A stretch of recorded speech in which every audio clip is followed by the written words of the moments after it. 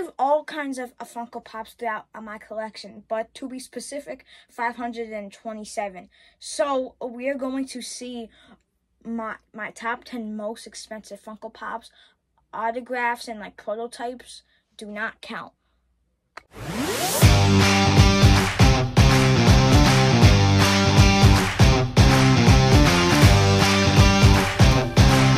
Number 10 at 50 $6.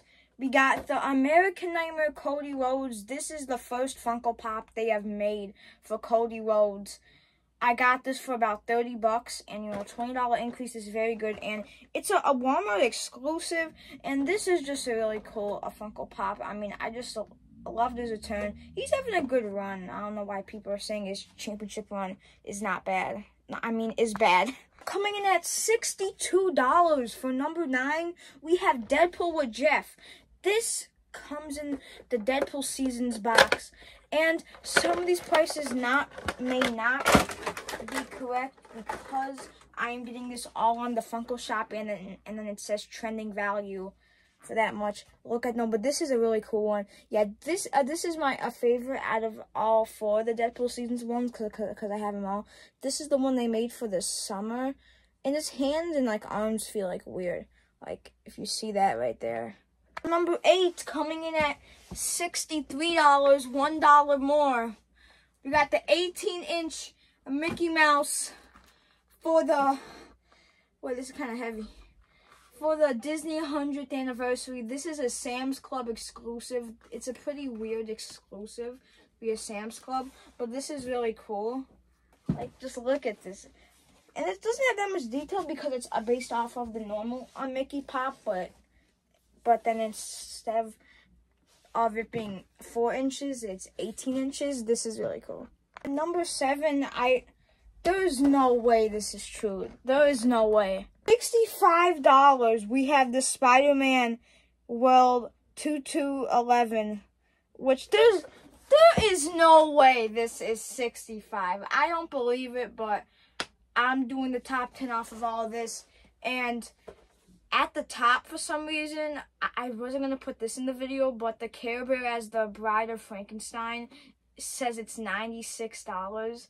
That's not true because you can get it for like 12 on the Funko shop. No, but I just can't. It can't be true. Now, number six, $67. We have the Spider-Man Valentine's Day Funko Pop. When when this first released on the Funko shop, I got it right, right away. I love how the box looks looks with like the comics on the back and everything. And now for number five, jumping all the way to $82. This is the big Cheesemaker of them all. Shout out to Cheesemaker. We got the 18 inch Groot right now. This, yeah, this is, I think, better than the uh, Mickey Mouse. They got a flocked version where his like leaves are flocked. No, but this is really cool. So I, this was one of the first 18 inches ever made, and they got the little basing um, saying I'm Yeah, this is really cool.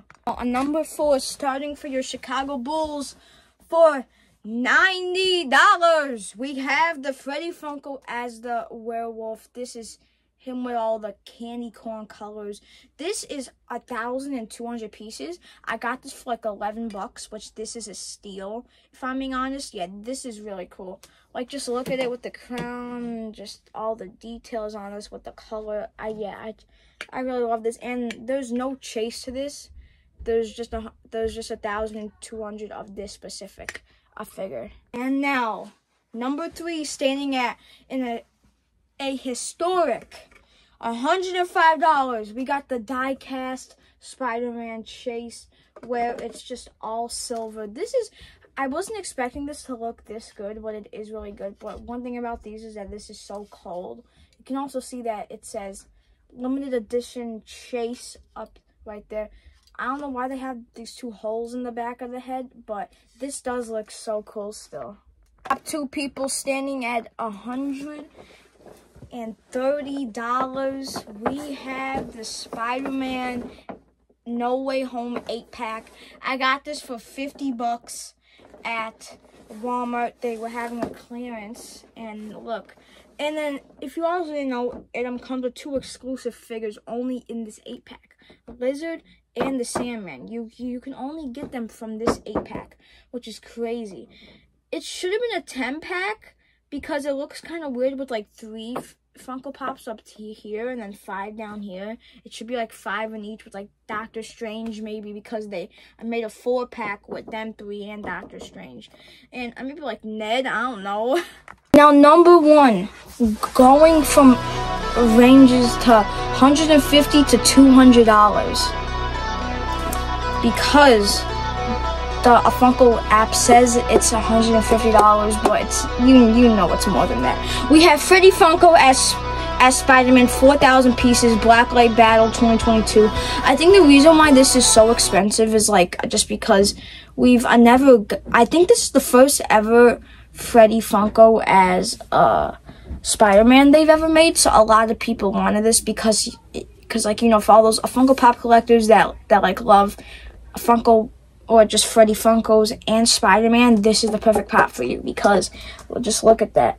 This this does look so cool if I'm being honest and like I can't believe this was made in 2022. I thought I thought this was made like a couple like well like years ago kind of. Yeah.